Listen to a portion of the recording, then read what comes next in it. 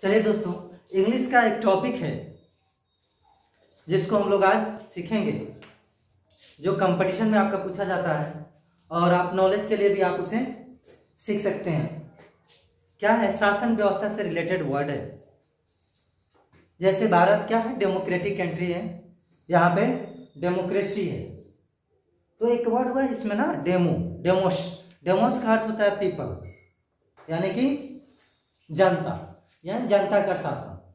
और कृषि मतलब शासन। एरिस्टोक्रेट जैसे क्रेट वर्ड है। तो चलिए, दो को रूट वर्ड हमको मिला। पहला मिला है कृषि। क्या मिला? कृषि। और दूसरा मिला एक क्रेट होता है। चलिए, और एक होता है आपका आर्की दो वर्ड हुआ। दो वर्ड को हम अगर देखें तो दोनों वर्ड का अर्थ क्या आपका आ रहा है? पहला आ रहा है गोवार्न इट मीन्स शासन करना। आप इसे चाहें तो रूल भी कह सकते हैं। रूल भी कह सकते हैं और चाहे तो आप कंट्रोल भी बोल सकते हैं। कंट्रोल भी बोल सकते हैं और चाहे तो आप इसे क्रैट और तो क्रैट क्रैट भी बोल सकते हैं। इसी से रिलेटेड है जिसको हम लोग आज सीखेंगे। पहला वर्ड है। अपना ही कंट्री का लेते हैं, चलिए। Democracy democracy rule by the people rule by the people इसे हम पीपल पढ़ेंगे। इसका करेक्ट प्रोनाउंसिएशन जो होगा पीपल होगा। अर्थात जनता का शासन। जनता का शासन। चलिए, अगला। ये अर्थात ये कृषि वर्ड आप जिस वर्ड में लगा देंगे, उसका शासन हो जाएगा। मान लेते हैं, पिता का शासन परिवार में तो हम क्या बताएँगे? फादर तो नहीं लगाएँगे ना, उसके जो मुख्य शब्द होते हैं रूट वर्ड जहाँ से वर्ड आया रहता है, उसके साथ आपको ऐड करना होता है। माता का। तो चलिए, पिता के लेकर चलते हैं। पैट्री आर्की आर्की लगा देते हैं वहाँ पे। कहीं कृषि लगेगा, कहीं आर्की लगेगा। जैसे धन के, चलिए। अमीर लोगों के द्वारा जो शासन होता है, धन सम जो ज़्यादातर धन संपत्ति वाले लोग हैं, अगर उन लोगों के द्वारा लोगों पे शासन किया जा रहा है तो आप उससे बोलेंगे प्लूटोक्रेसी प्लूटो। फिर हम चलेंगे आर्की लगा करके। प्लूटो क्रेसी अर्थात rule by the rule by the wealthiest person wealthiest wealthiest person एक सेकेंड वेल्दी वेल्दिएस्ट पर्सन यानी धनी लोगों द्वारा जो शासन होता है, हम उसे क्या बोलेंगे? प्लूटोक्रेसी धनी. धन जो वेल्दिएस्ट लोग हैं जिनके पास धन संपत्ति बहुत अत्यधिक है, अगर वो लोग शासन करेंगे तो हम कहेंगे वहाँ पे प्लूटोक्रेसी है। चलिए ऑटोक्रेसी एक वर्ड होता है ऑटो क्रेसी क्या है सर? ऑटोक्रेसी है। आप इसका और भी नाम दे सकते हैं। ऑटोक्रेसी बोल सकते हैं ऑटो आर्की भी बोल सकते हैं। चलिए क्या बोल सकते हैं इसे? ऑटो।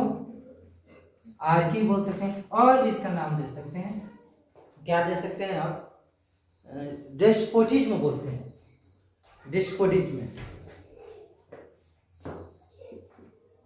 आप लोग क्या कर रहे हैं? अच्छा से बैठिए भाई। डेस्पोटिज्म भी बोल सकते हैं। और कोई वर्ड अगर हो सकता है तो आप लिख सकते हैं। वैसे एक वर्ड और होनी चाहिए। टोटलिज्म भी हो सकता है। इजम भी इससे से रिलेटेड वर्ड है। डेस्पोटिज्म बोल सकते हैं ऑटोक्रेसी बोल सकते हैं ऑटो आर्की बोल सकते हैं। इसका अर्थ क्या होगा? जो तनाशाह लोग जो होते हैं ना, उन लोगों के द्वारा। आप हिंदी में लिख लीजिए।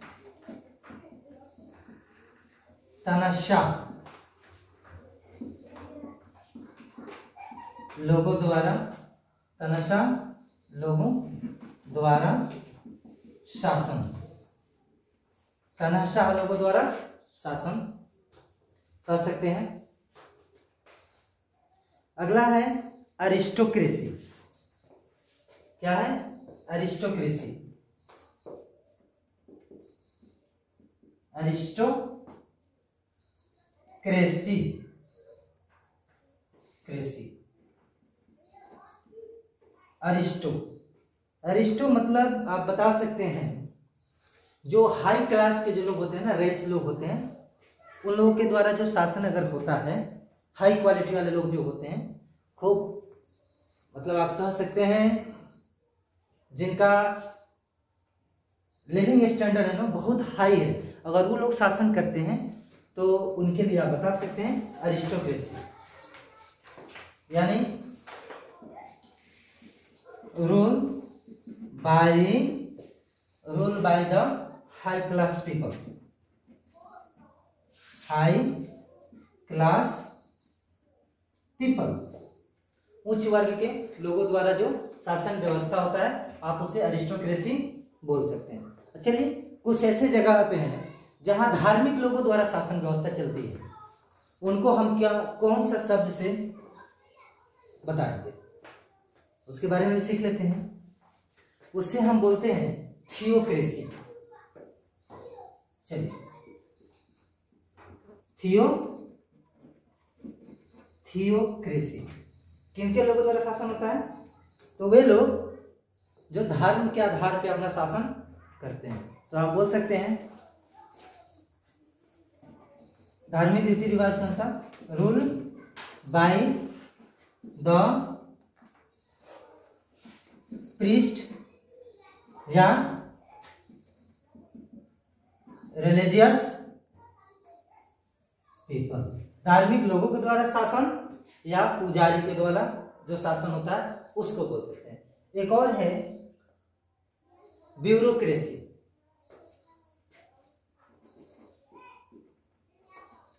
ब्यूरोक्रेसी। चलिए। ब्यूरोक्रेसी, जो लोग ऑफिसर होते हैं ना, उन लोग के द्वारा जो शासन होता है, हम उसे क्या बोलते हैं? Bureaucracy. Bureaucracy. Rule by the officers ये आजकल हम लोग को अपने ही देश में देखने को मिल रहा है, ब्यूरोक्रेसी। चलिए, ठीक है? ब्यूरोक्रेसी। और भी बहुत सारे हैं, जैसे चलिए इतना आप नोट डाउन कीजिए, इसको इरेज करते हैं, फिर इस पर लिखते हैं। करेक्ट चलिए।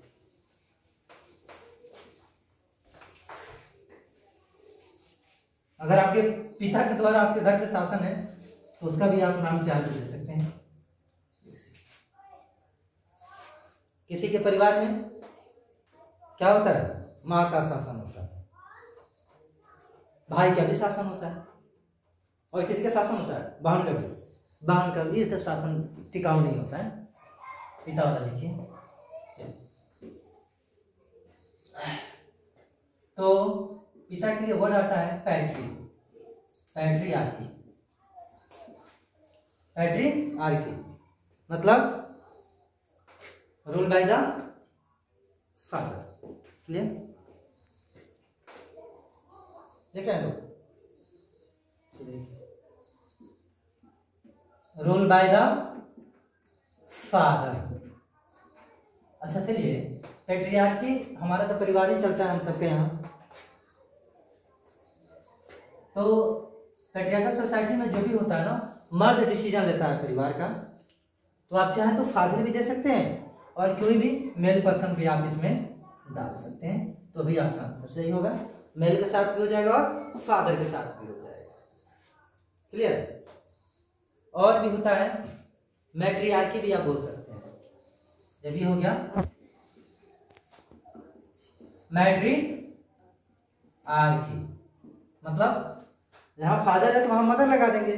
आपका वर्ड है रूट वर्ड मैट्री है पैट्री है फैक्ट्री है सरोरी है ये सब चीज़ नेक्स्ट वीडियो में और सीखेंगे। तो मैट्री आर्की है। क्या होगा? Rule by the mother. अब मदर है भाई फीमेल कैंडिडेट फीमेल भी हो सकती है। कमा नहीं हो तो कमा माँ होगी तभी नहीं ना होगा। कोई भी फीमेल कैंडिडेट हो सकता है, चाची भी हो सकती हैं। फीमेल कैंडिडेट वहाँ का सर्वे सर्वा होता है। जिनके हस्बैंड लोग बाहर कमाने जाते हैं, खासकर यही सब चलता है उनके यहाँ।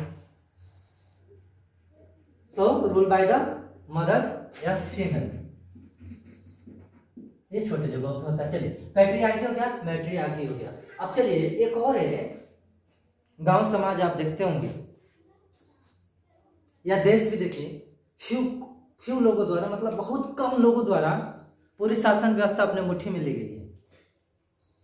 उसको भी आप बता सकते हैं। जैसे अपना देश में कुछ इस तरीके से चल रहा है तो उसे हम क्या नाम देंगे? चलिए उससे हम बोलते हैं ओलिगार्की ओलिगार्की चलिए, ये वर्ड है ओलिगार्की ठीक है ना? इसे हम इसका मतलब हम क्या कहेंगे? Rule by the few people rule या कंट्रोल भी आप डाल सकते हैं। Control by the few people चलिए दोस्तों, इस तरीके से आप चाहें तो अनेकों बना सकते हैं। वीडियो ज़्यादा लंबा हो जाएगा। अगर और किसी से रिलेटेड आप लोगों को जानना है शासन व्यवस्था तो आप कमेंट करेंगे, हम वहाँ से फिर कभी वीडियो बनाएँगे। तब तक के लिए इसको इतना ही रहने दीजिए।